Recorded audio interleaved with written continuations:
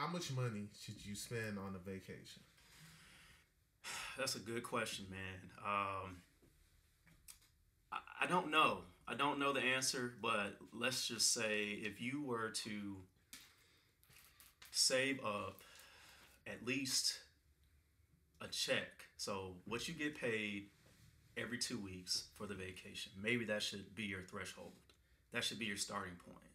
And I've never spent more than five thousand dollars on a trip, and I'm saying that that was like the most lavish trip that I've been on as an adult, just because I feel like it's it's not a waste of money, but it's almost like you're you're giving money and putting it in the trash, almost. I mean, it, you get an experience, but you're not gonna make money off of off the trip unless you start talking about it and use that as your you know your personality you start Branding. brand, yeah yeah use that for branding but other than that, you don't make pennies or dollars off of going on a trip. So I would just say maybe your two weeks pay. Okay. Yeah, I would throw that in the fun money basket. So I recommend everybody have some level of fun money unless you're deeply in debt. You just need to attack that debt, not worry about having fun. But now, um, so the question. So I have some questions then, right? So I can answer. it. Is this a trip like I'm going on with the boys? So I'm only responsible for me. Well, so I don't I don't know, but in some cases, people want you to pitch in for like the Airbnb, the hotel, yeah, yeah. stuff like that. So all expenses Yeah. covered. So if it's like just a trip for me, Yeah. you know, when I was traveling like that, but this is before my um, financial awakening. hmm uh, a tool that I used to use was like, hey, uh, I wouldn't spend more than two weeks' pay on. I would spend up to two weeks' pay on one trip a year. Every other trip, I had to fit in the budget. Cause I used to like to travel a lot, five to six times a year.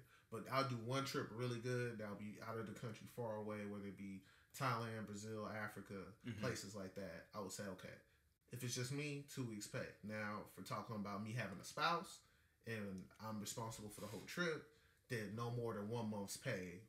And that'll probably be, you know, if I go all the way up to one month's pay, we're talking about once every two year type of trip for that. Okay. You know, um, but just depending on our financial situation, of course, right? If I'm a millionaire, then yeah, trips on the I mean, then, then you know that yeah. gets modified. But just a practical sense, if you're not you and your wife aren't deeply in debt, I think you should never exceed one month of pay on the trip.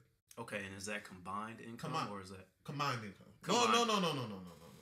One month of pay of the highest earner in the relationship. Okay, okay, that makes sense. Yeah. All right, so Because that's like two weeks and two weeks. yeah, yeah, yeah. Is how I'm looking at it. Yeah. Okay, that's not a bad idea. Um, you know, when I used to travel, I would just go to two decent trips. So Mhm. like not one major like Africa trip, but like maybe like Costa Rica and then maybe like a, a really expensive Miami trip or Yeah. something like that. And then like those here and there like Las Vegas. Vegas or whatever, Yeah, stuff like that. Um, but as of right now, like with, with COVID, you know, I have all these points saved up. I want to go on vacation, man. And so I'm, I'm trying to pick the, the perfect place.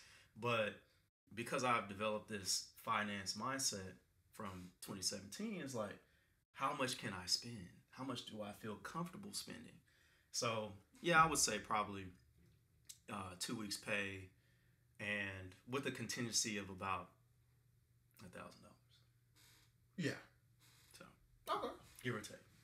Yeah, that makes sense. I mean, you know, um, for a lot of people, especially right now during the pandemic, you know, uh, vacation doesn't seem like a big deal, but that's like a big talking point on social media. You know, everybody wants to travel, get flued out, and stuff like that. And I, Right. I guess I'm just here to say that, you know, for somebody that did used to travel frequently, you know, it's expensive.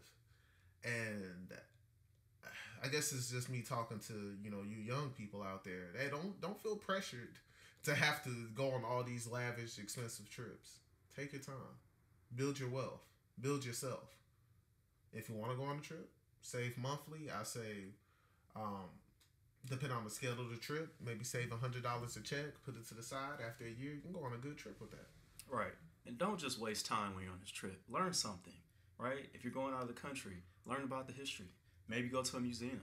Uh, pick up uh, a book and learn the, the language. You know, these are things that you can use for networking. Um, it can build your personal brand, like we talked about. So yes, you can have fun. Yes, you can go out on the beach. You can get flued out, but learn something about the culture, man. Learn something about it. So you can get flued out. You yeah, can. right. I guess you can. Um, Are so, men getting flued out though? Well, let me ask you this. let me ask you this, right? This is on topic and off topic, yeah. but you know, people love to get this commentary from us for some reason. Yeah. Um, so you're you're you're dating a chick. Yes. How long you, should you guys be dating before you take her on a trip? Man, it just depends. Like, okay, are you trying to? Okay, how can I put this? Are you using this trip as leverage to accompany who you are as a person? If you're doing that, then you're about it all wrong. So I would say if you know that you're in a serious relationship with somebody and you're not trying to trick, as they call it, by this using this trip, I would say a good six months knowing the person, you like this person, y'all are in a serious committed relationship, you guys can explore going out of the country or maybe start off small. You can go to San Antonio, you know, Riverwalk or wherever local nice place that wherever you're from and start with that because going out of town with somebody that you just met is a little awkward, you know. Yeah. So I would say, you know, start small and then bigger trips after 6 months. You know, um, I've been out here, you know, in this dating market, um, especially in you know, uh, 2019, and you know, I would meet uh, women, and you know, after a few days, they'll be like, "Oh yeah, we need to go on a trip together. We need to plan a trip." Several days. Several dates, yeah. Oh. And I'm just be like, why is this a common theme? why is everybody trying to go somewhere with Turks me? and Caicos, man. Well, well, you know what though? Um, it was my personal branding. You know, um, if they'll see my social media, they'll see that I travel a lot, and they'll be like, "Whoa, that's something I like about him." You know, some of these trips you need to go on, maybe you need to take me. So I, I guess I get it, but ah, that's not something I was trying to do. Nah, Yeah, I feel you. I'm not taking you on no trips, man. But. I mean, somebody could think about it like, okay, you want to go somewhere. You don't want to go somewhere alone. So you might as well bring someone that you like, right? Maybe somebody that you're dating. Or After you, three days, Nah, not after three days, man. I don't know. But uh, if you're in a relationship with somebody, you see it going somewhere. If you want to go on a trip with somebody, like I said, y'all take a trip to LA, do something small. It doesn't have to be big time, you know? yeah. Get to know who that person is outside of the country. I mean, inside of the states, and then go out of the country with that person. Okay. So After three dates, that sounds a little predatory. So to be clear, you don't think uh, bringing up going on a trip is a good talking point for people who just started dating?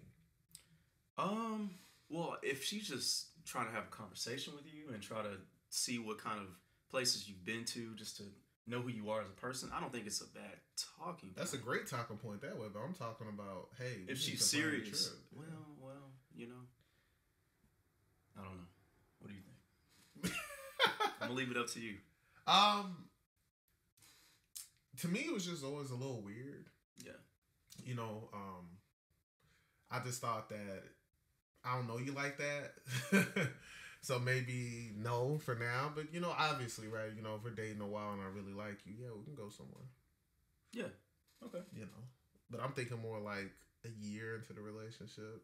It could be six months if I really like. I mean, the pandemic messes up everything, you Yeah. know, in my logic for thinking of things. But no pandemic, the world is open. Um, maybe after six months, if I really like the person and we're both invested in each other, Yeah. After You know, six months, you know a little weekend is. trip. It wouldn't be no nothing very long and extravagant. Right. you know. Um, but yeah, but now you know if the expectation is like if I get with him, you know he can fly me out and we gonna go to Brazil and all that. Now oh just, no no no no. just don't even waste your time. I'm not that type of guy. So.